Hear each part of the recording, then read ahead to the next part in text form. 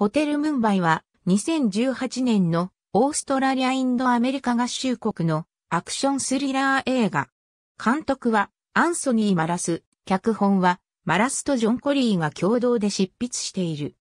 2008年に起きたムンバイ同時多発テロの際、タージマハルホテルに閉じ込められ、人質となった500人以上の宿泊客と、プロとしての誇りをかけて、彼らを救おうとしたホテルマンたちの姿を描いており、同事件を題材にした2009年のドキュメンタリー、サバイビング・ムンバイからインスピレーションを得ている。デーブ・パテール、アーミー・ハマー、ナザニン・ボニアディ、アヌパム・カーン、ティルダ・コブハム・ハーベイ、ジェイソン・アイザックス、スハイル・ネイヤー、ナターシャ・リュー・ボルディッツォが出演している。2018年9月7日に第43回トロント国際映画祭でプレミア上映が行われ、10月10日にアデレード映画祭でオーストラリアプレミア上映が行われた。オーストラリアでは2019年3月14日、アメリカでは同月22日、インドでは11月29日に公開された。2008年11月26日、インドムンバイのタージマハルホテルに勤務するウェイターのアルジュンは普段と同じように出勤し、料理長オベロイはスタッフたちに指示を出していた。この日のホテルには、イラン人の富豪令嬢ザーラとアメリカ人の夫、デビット、ニュージ・キャメロンと、ウバサリー、そして元スピツナズ隊員はシリーなどの VIP が宿泊することになっていた。その夜、ブルと呼ばれる人物が指揮するラシカレとイバのテロリスト10人が、チャトラパティシバージーターミナス駅をはじめとした、ムンバイ市内12カ所を襲撃し、彼らの一部はタージマハルホテルを占拠した。ムンバイ警察は十分な対テロ訓練を受けておらず、事態の解決はニューデリーの国家保安警備隊の到着を待たなければならなかった。占拠されたホテルでは、アルジュン、デビット、ザーラ、ワシリーがレストランに取り残され、サリーとキャメロンは事情を知らないまま部屋に残っていた。デビットはテロリストたちの目を盗んで部屋に戻り、一方のアルジュンはオベロイからの連絡を受け、レストランの客を連れて6階にある高級クラブのチェンバーズラウンジに避難する。デビットはサリーとキャメロンを連れてチェンバーズラウンジに向かおうとするがテロリストに拘束され、サリーとキャメロンはクローゼットの中にいて難を逃れた。同じ頃、ムンバイ警察のバムは、ホテルの警備室に向かうため部下と共に、ホテルに潜入し、アルジュンは重傷を負った。観光客ブリーを病院に連れて行くためホテルからの脱出を図る。アルジュンはバムと合流するが、直後にブリーがテロリストに射殺される。アルジュンはバムと共に警備室に逃げ込み、そこのモニターからテロリストが射殺した警官の身分、証明書を使いチェンバーズラウンジに入ろうとしていることを確認する。バムはテロリストの侵入を阻止するため、チェンバーズラウンジに向かい、そこでテロリストのイムランを銃撃し、負傷させる。チェンバーズラウンジでは、オベロイの方針に反発するザーラやワシリーが同調する宿泊客と共にホテルからの脱出を図るが途中でテロリストに見つかりザーラとワシリーが拘束され、他の宿泊客は射殺される。二人はデビットや他の拘束された人々のもとに連れて行かれ、一室に監禁される。彼らを監視するイムランは家族に電話をかけ、その通話を通してテロリストが軍事訓練の名目でムンバイに連れてこられたこと、家族に支払われるはずの報酬をブルが支払っていないことが明かされる。夜が明ける頃に国家保安警備隊が到着し、突入作戦の準備が進められる。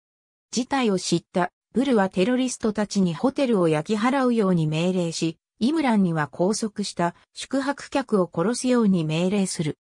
イムランはデビットやワシリーたちを次々射殺するが、最後に残ったザーラがムスリム式の礼拝を始めたことで殺すのをためらい、彼女を残して立ち去る。取り残されたザーラは自力で拘束を解き、部屋を脱出する。一方、アルジュンは、オベロイと合流し、残った宿泊客を連れて、ホテルからの脱出を図り、その途中で、サリーとキャメロンに出会う。国家保安警備隊がホテルに突入してテロリストを相当する中、ザーラは救出されて、サリーとキャメロンに再会し、オベロイも宿泊客たちと共にホテルを脱出する。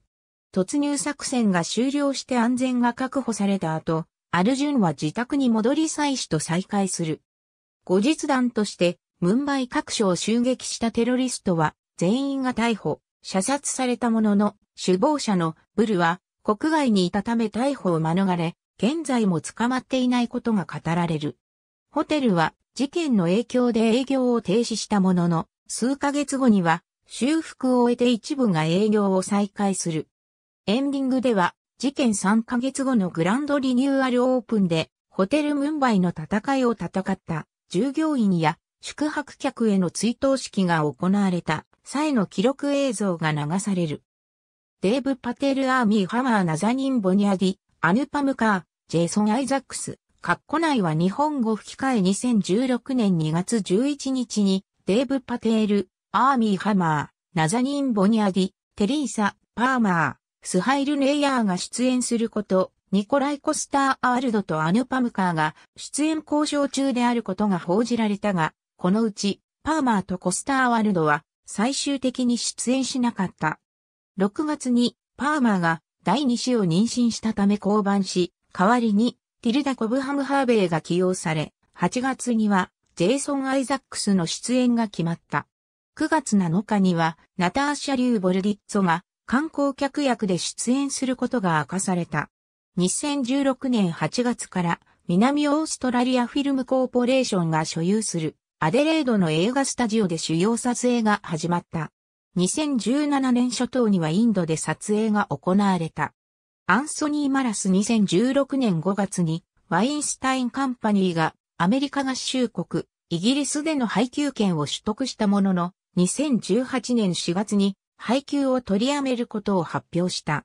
8月にブリーカーストリートとシブハンズピクチャーズがアメリカでの配給権を新たに取得した。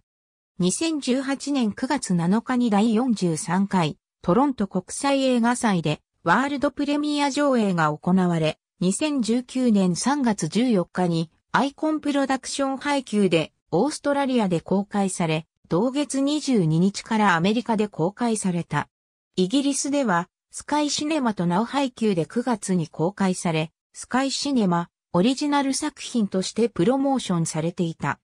ニュージーランドでは3月14日に公開されたが、翌15日に発生したクライストチャーチモスク銃乱射事件の影響で、同月28日まで上映が停止された。インドでは10月23日にヒンディー語オフィシャルトレーラーが公開され、11月29日に G スタジオとパーパスエンターテインメント配給で公開された。ネットフリックスはインドを含む南アジア、東南アジアでの配信を予定していたが、インドの配給会社プラスホールディングスとの間で契約上の問題が発生したため配信を中止している。ホテルムンバイは北米で965万ドル、その他の地域で1160万ドルの興行収入を記録し、合計工業収入は2130万ドルとなっている。アメリカでは当初は4巻のみの上映だったが、3月29日には924巻に拡大し、公開第2週末に310万ドルの工業収入を記録している。ロッテントマトズには215件の批評が寄せられ、支持率76%、平均評価6.91、10となっており、実際の恐怖を描くことは人によっては作詞的に感じることもあるが、ホテルムンバイは悲劇的な出来事をうまくドラマ化していると批評している。メトクリティックでは33件の批評に基づき62、100のスコアを与え、ポストトラックでは好意的な評価は77%、絶対におすすめできるという評価は50%だった。バラエティ誌のピーター・デブルジは、あの悲惨な事件から10年近く経ち、再びその悲惨さを目にすることは、エンターテインメントとは言い難く、ディザスター映画に説得力を持たせるための見苦しい衝動を利用して、あの悲劇的な光景を利益のために見せ物にしているを批評している。ありがとうございます。